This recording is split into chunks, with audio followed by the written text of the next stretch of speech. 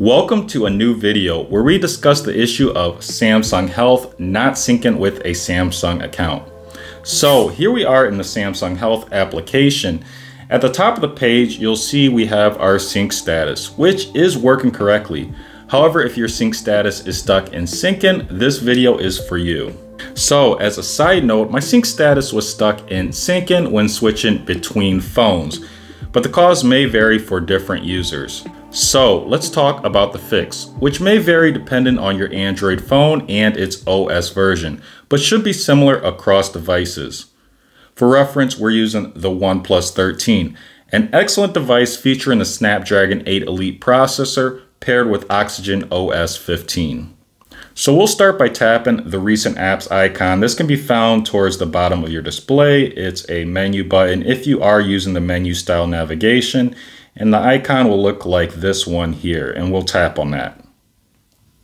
Now we'll focus specifically on the Samsung Health application and in Oxygen OS you'll find three dots at the top of the app preview. The app preview is this window here and the three dots will be right there at the top and we're going to tap on them to access additional options.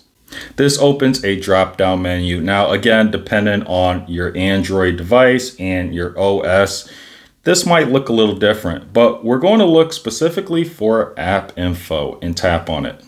So this is going to open a new window titled app info, which essentially serves as the app's settings. Next, we'll locate storage usage and we'll tap on it. Now there are two options you can try here. First, you can try clear cache or you can try clear data. Now clear cache didn't work for me, so we're going to skip that and we're going to go with clear data and tap on that option, which is also written in red font, very convenient. Now this displays a pop-up titled clear app data question mark. App data including files and settings will be permanently deleted from this device. Now there is no need to worry here. This will not delete your actual account data as long as it's synced with your Samsung account. However, there are settings in the app that you may need to reconfigure such as the health tiles. So that being said, we're going to tap delete. The next time you open the Samsung Health application, it will start up as if it were just installed. Simply follow the prompts to set it up again. You may need to sign into your Samsung account again, but the process was quick and easy for me. Again, this is going to be just like setting the app up for the first time. So we're going to have the permissions that we're going to need to accept and your goal that you're going to choose here. Once you reach the home page, syncing should begin automatically, though it may take some time to complete. So syncing seems to be working fine here. You can see we have a restoration of 98%. But if you're still having problems with syncing, you can look into the app settings. That's going to be the three dots towards the right of the display here. We're going to tap on that and then we're going to look for settings and tap on that. Now there is a page before this one with an option titled sync with Samsung account that will bring you to this page.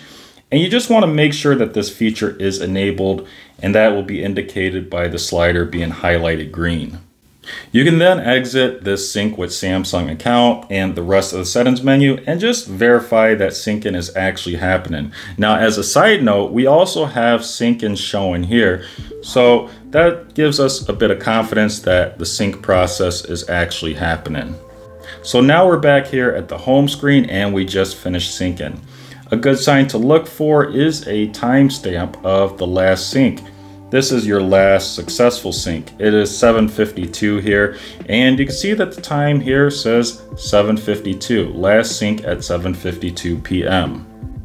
So that is it for today's content. Let me know if this helped resolve your Samsung Health account sync issue. As always, thanks for watching and may the universe flow in your favor. And until next time, Leon check in out.